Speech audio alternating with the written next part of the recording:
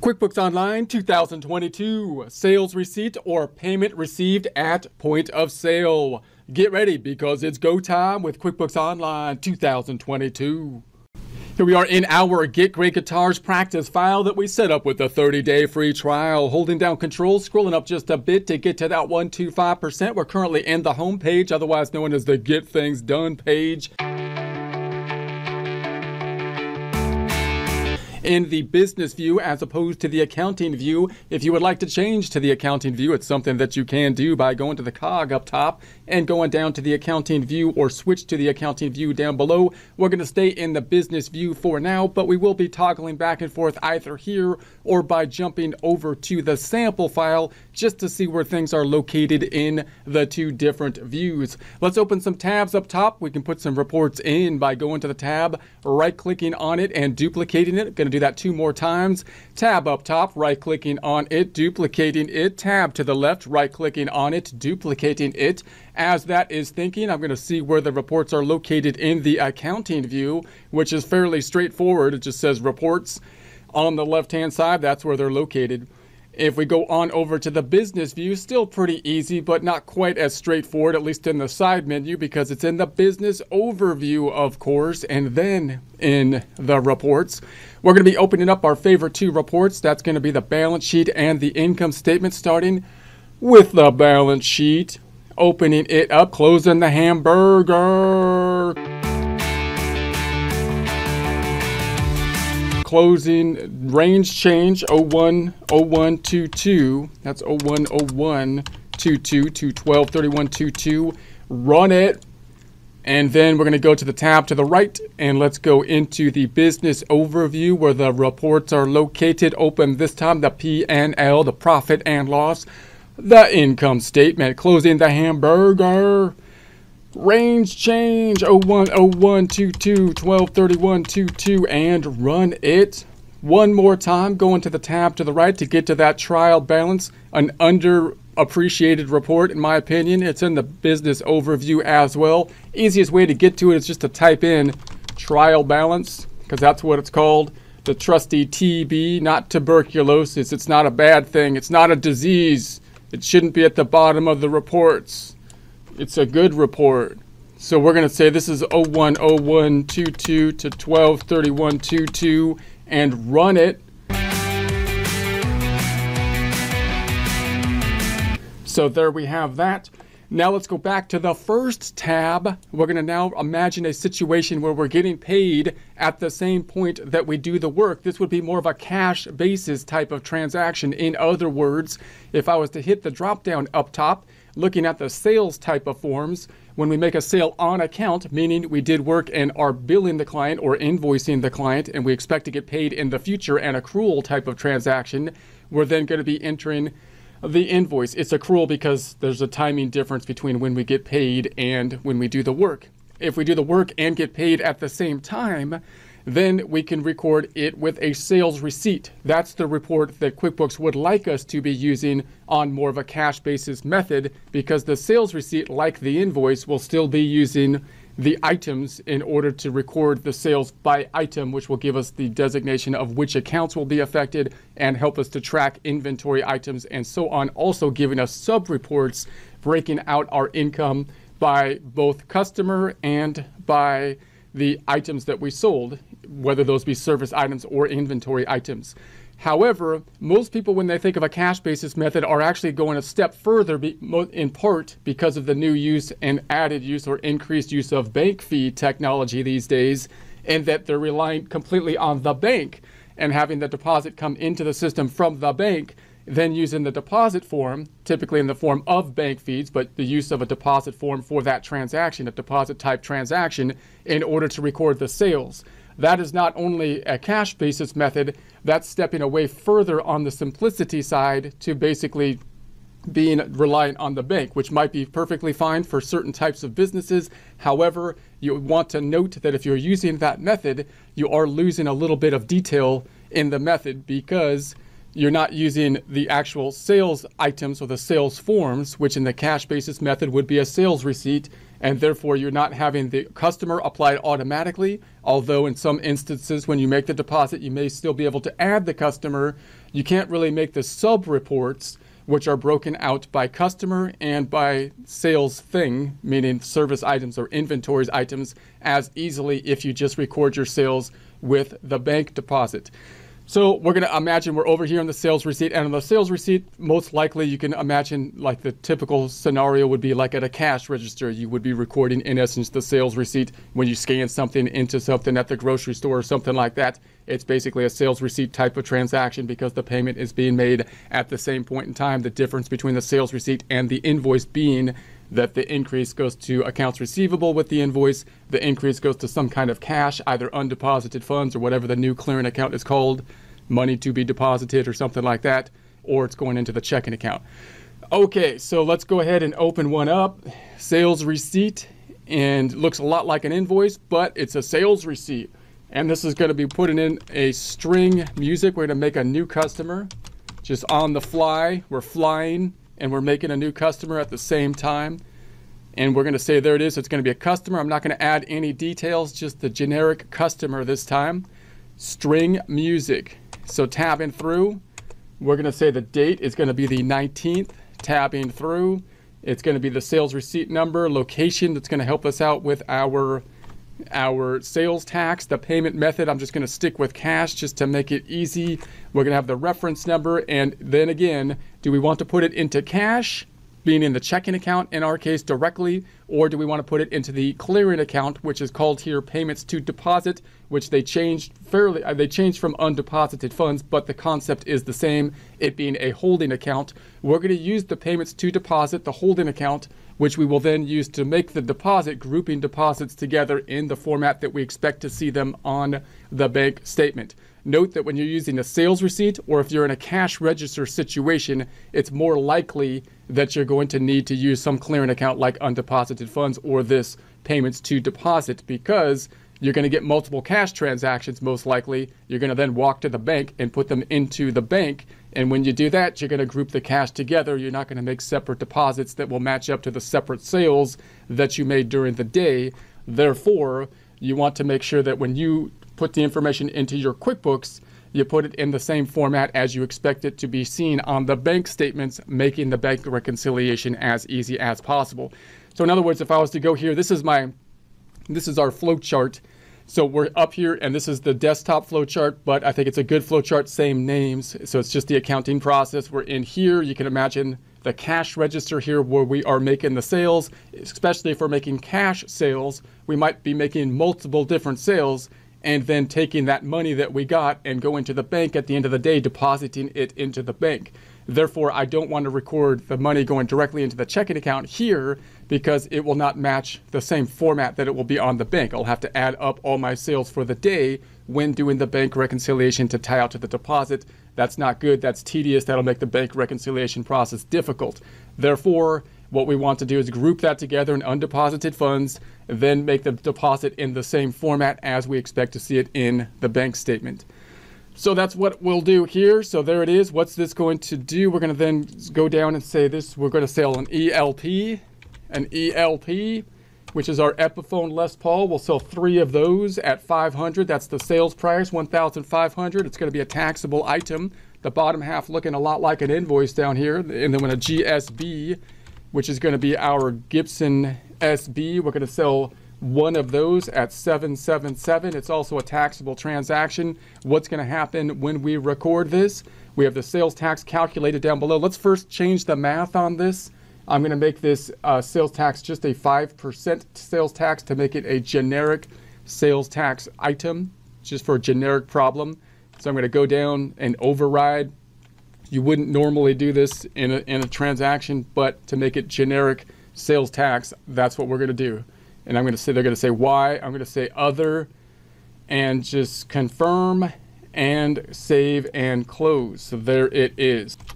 Okay, so now we are at then this is going to increase the undeposited funds instead of accounts receivable. That's where the difference is between the sales receipt and the invoice by the 2,390.85. Sales is going to increase by the 2,277, similar to the invoice. The difference, like with the invoice, is going to go to a payable account, 113.85, which you could think of as sales tax payable, which they're going to put into whoever you are paying as the vendor. They made an account for the California Board of, you know, Tax Collection or whatever it is called, and then we're also going to have the inventory going down by an amount that's not on the actual sales receipt, like with the invoice, but driven by the items the system knows because we have a perpetual inventory system.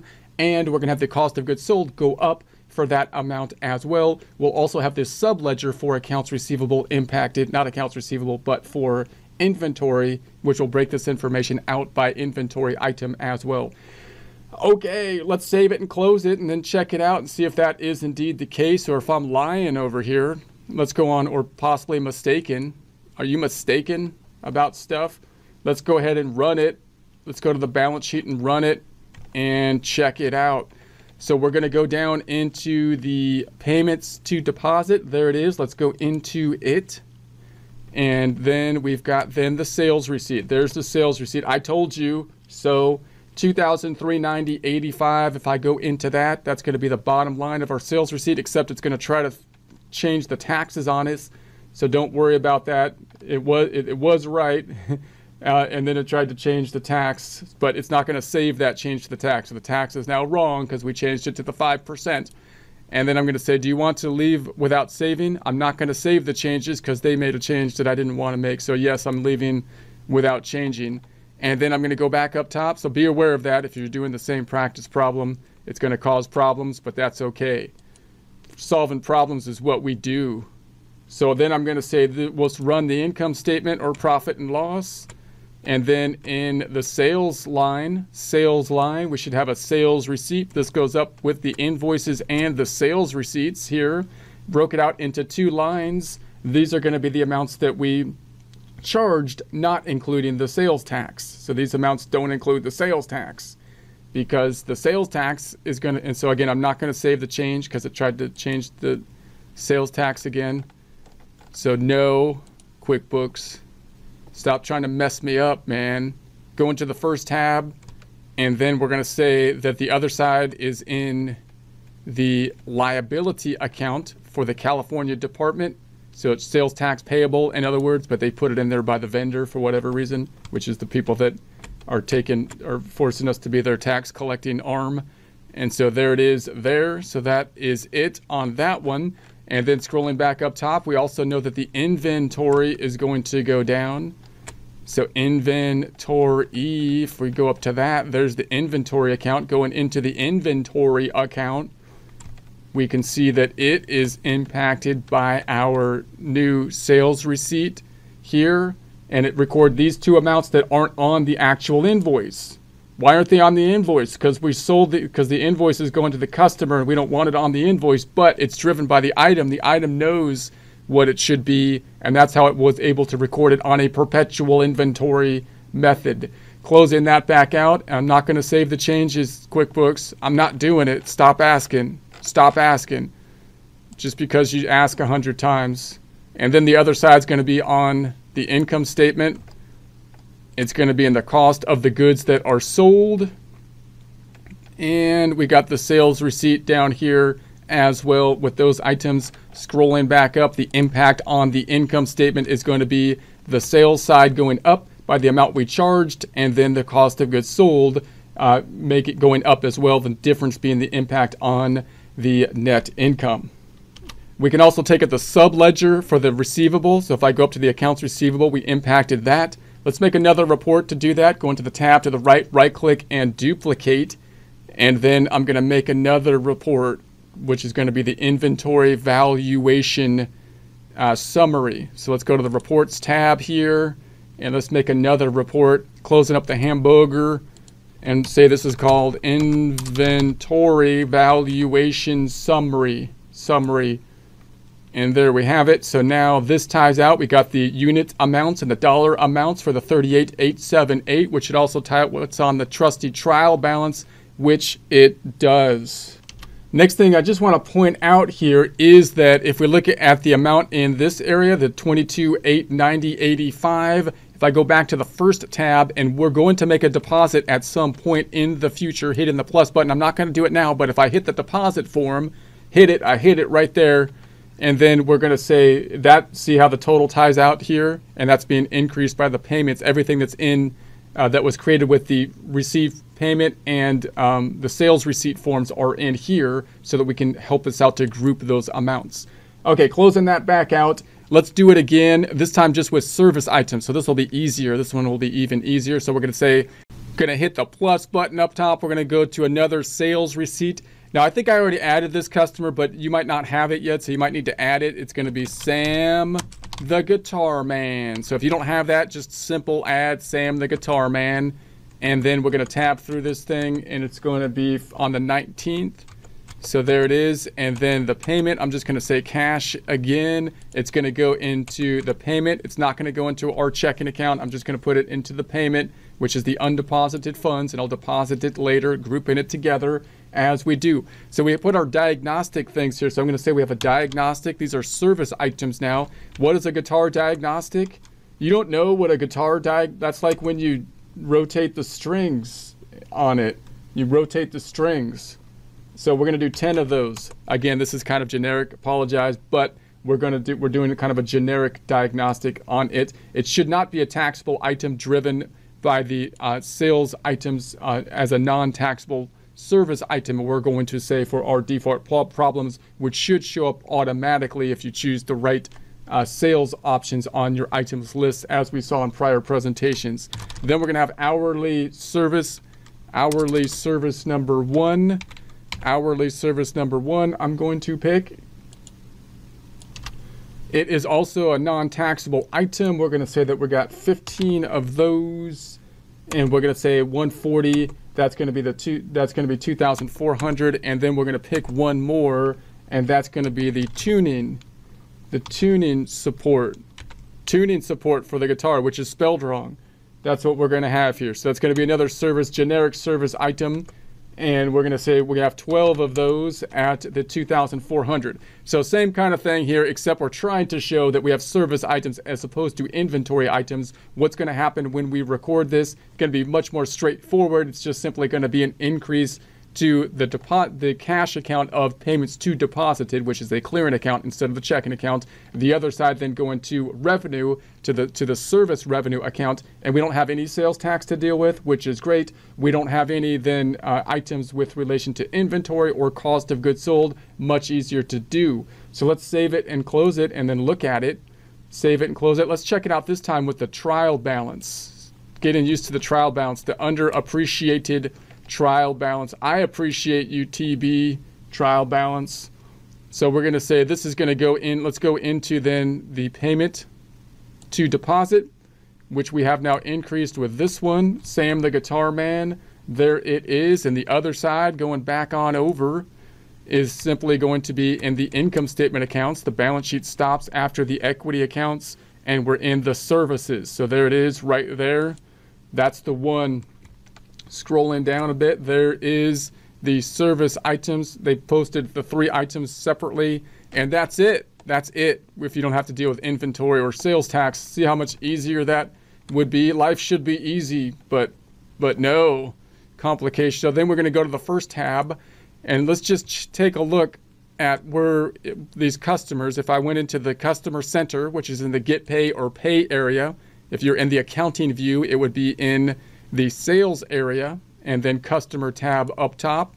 In this view, it's in the get paid area or pay area and then customers. And then we did this, we sold something to Sam the Guitar Man. So you can check that out here.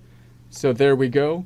Uh, the other way you can take a look at this is you could go up top. I could say, let's go up top and let's take a look at our transactions, which are in our bookkeeping area. If we wanted to look at it that way, look at the transactions. If we were in the accounting view, we would be simply in the sales area looking at all transactions in that area. So same stuff, just different location. We're going to go to the sales transactions. This time we're looking at those cash-based sales, which are going to be using the sales receipt. So let's change this to the sales receipt stuff. And then status, let's just say all And so there we go. Apply it out. There's our two sales receipts. One last thing want to point out here is that if I go to the tab to the right, and let's make sure it's a fresh one, in in the account of the in the account of the payments to deposit 28 70 85 that's the amount that should show up in our deposit area when we make a deposit form.